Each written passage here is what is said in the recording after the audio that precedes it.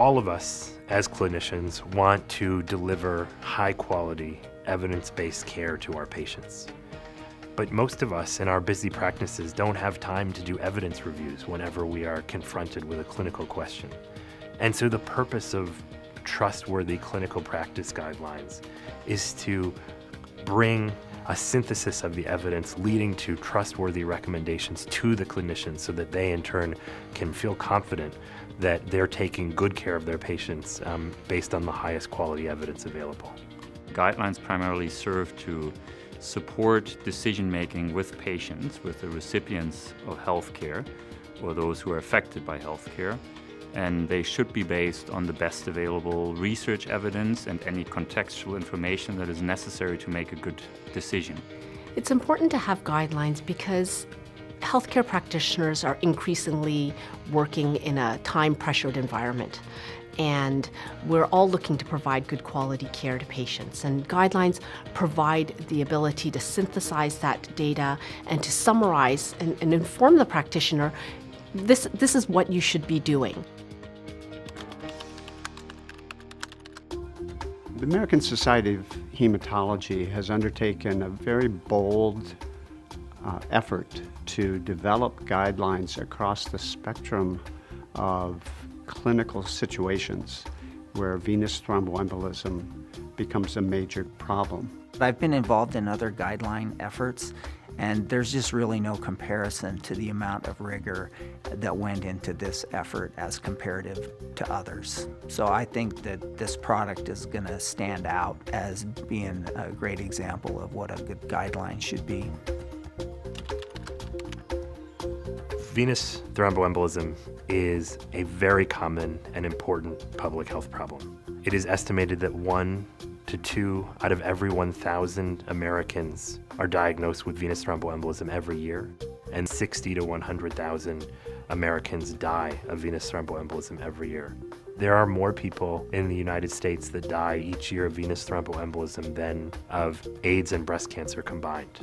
And I think that there is an underappreciation for this disease.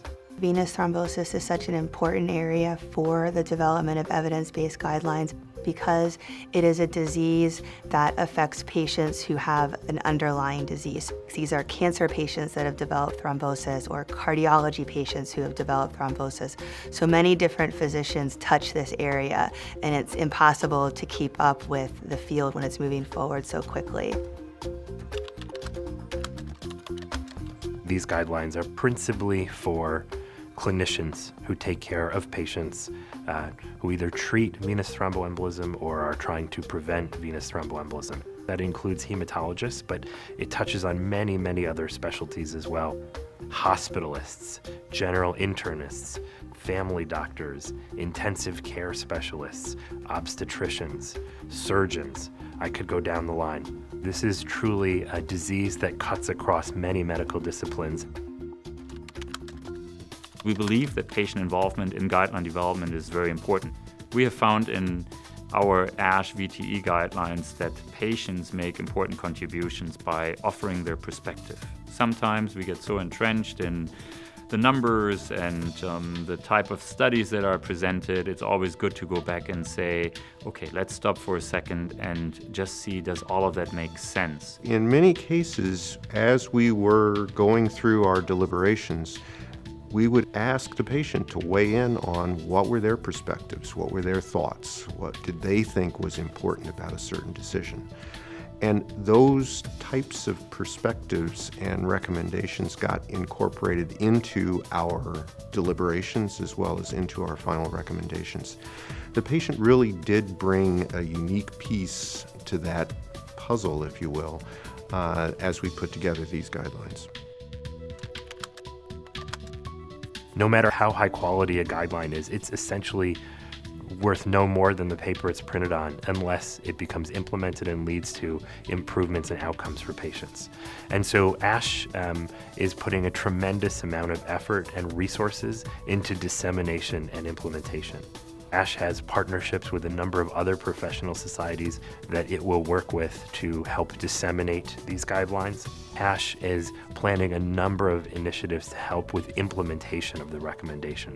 Pocket guides, apps, webinars, uh, toolboxes that practicing clinicians and institutions can use to bring these recommendations to their patients. They not only need to be published in a hematology journal or presented at a hematology meeting, but it's important for us to take the show on the road and make sure that this evidence is being presented at the meetings of our colleagues as well.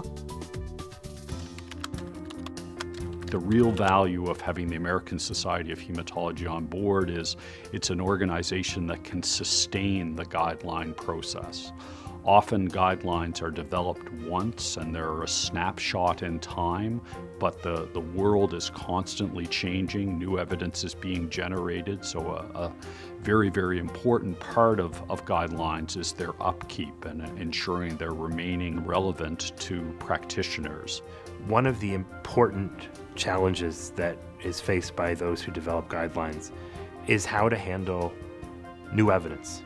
There is new research, and um, the pace of new discovery and new evidence is rapid. And so it might not be long before a recommendation becomes obsolete uh, if it was published before that new evidence. And so one of the things that ASH is working on is developing a way to review new evidence as it becomes published so that we can make sure that we keep these guidelines uh, relevant.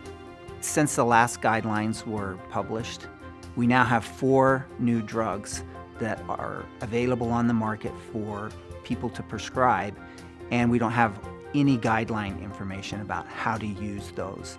One of the things that was really exciting for our panel is that we are able to dig in and try to make some recommendations about how to use those drugs in the treatment of people with venous thromboembolic disease. With every one of the questions and recommendations that we put together, we identified new questions that we have to go further in to better take care of our patients and provide the best care that we can uh, across uh, the breadth of all the providers who take care of patients with venous thromboembolism. Having the weight of the American Society of Hematology on board as such a successful organization, I think gives us great confidence that these guidelines will benefit physicians, patients, and practitioners for years to come.